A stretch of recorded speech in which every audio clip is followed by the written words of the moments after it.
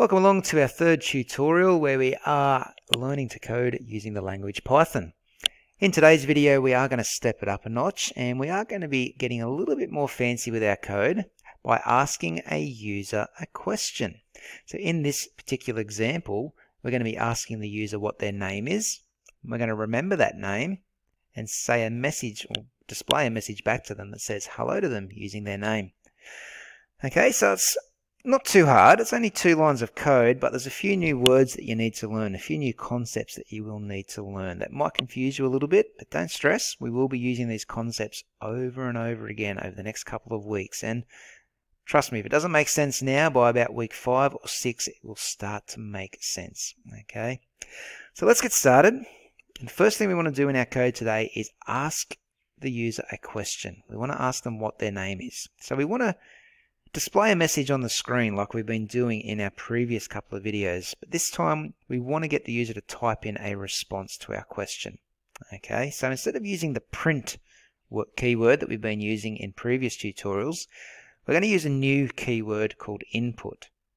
Okay, it allows the user to input or type something in on the keyboard once the question has been asked. Okay, so the question we're asking today still comes inside of brackets and double quotation marks. And we're going to say, what is your name? And you can still close the quotation marks and the brackets at the end. So it looks pretty similar to what we've been doing. But if we save this now, I'll just call it um, for what is your name. And if we run this code, you will see it looks exactly the same. We're displaying a message on the screen. But this time it allows us to type in a response. So I'll type in Tim and press enter and that's the end of my program. Okay, if you ever see these three dashes here, it just means your program's finished running. Okay, so we've got a couple of issues we need to fix before we go any further. Okay, first of all is the space between the quotation mark and my name. I want to have a space there. So just before these quotation marks finish up, just put a space in. Run that code again and you can see you've got a space. So when you type your name in, it looks a bit nicer. The other thing I'm going to change is this question mark. You can leave it there if you want, but it doesn't really look like it wants the user to type in something. So I'm going to put a colon there instead. And I'll save that and run it again.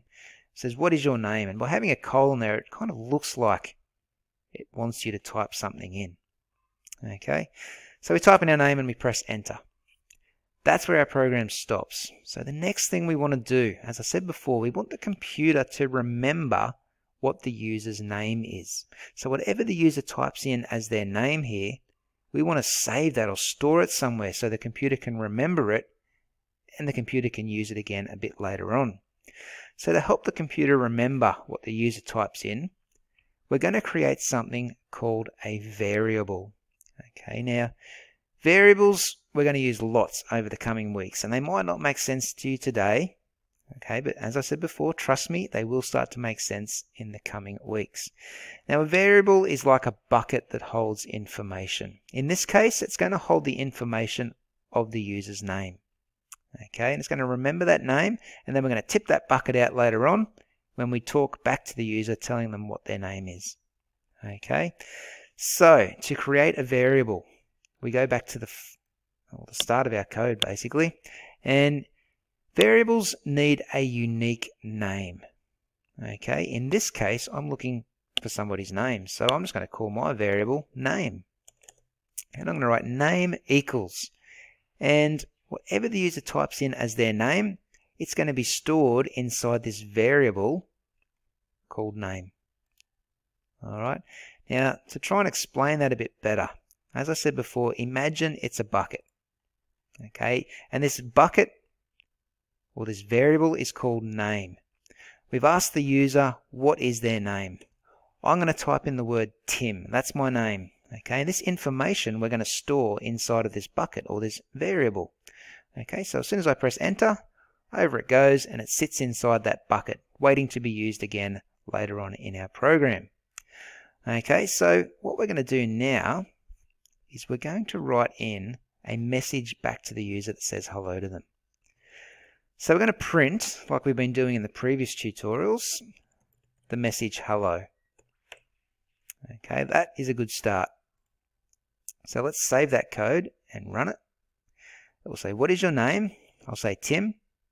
As I press enter, it saves Tim into this variable name. Okay, but it doesn't do anything else. We haven't told it to do anything with that name yet. It simply prints the message hello and then stops. So what we're going to do is we're going to come inside of these brackets here in the hello message and we're going to put a plus sign and write name. Okay, and what that's going to do is it's going to say hello and whatever name is stored up here in this bucket is going to get tipped out and displayed on our screen just there. Okay, so I'm going to save that and we'll run that code again. It'll ask what my name is. I'll say Tim and it will come back saying hello Tim. Now you can see the obvious issue there is the space between the two words is not working properly. So the cheat's way around that is after the word hello, just put a space before you close off the quotation marks.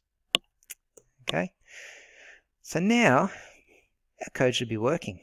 Save it and run it again. Say, what's your name? We'll say Tim. It says, hello Tim. Simple.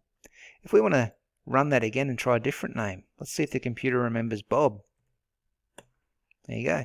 Hello Bob. Let's scrap the word Tim and instead it's using the word Bob.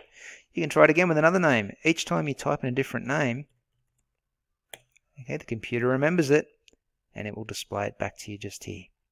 Okay, so I'm hoping that's starting to make a little bit of sense to you. We use the keyword input okay, to ask a question. Remember, that's our new keyword that we're using in Python. Input asks the user a question. So we ask them what their name is. Whatever they type in gets stored away in this variable here called name. Remember, variables are like buckets that hold information. In this case, it's holding the information of the user's name. Okay. Then we're going to print a message on the screen that says hello, and then we tip our bucket out, or our variable is displayed just here after it. Okay, so it remembers the name, which is Tim, and then displays it down here. Okay, one last time, run the code. What's your name? Tim. Hello, Tim. And that's it. Okay, so make sure that is saved, and I will see you in the next tutorial.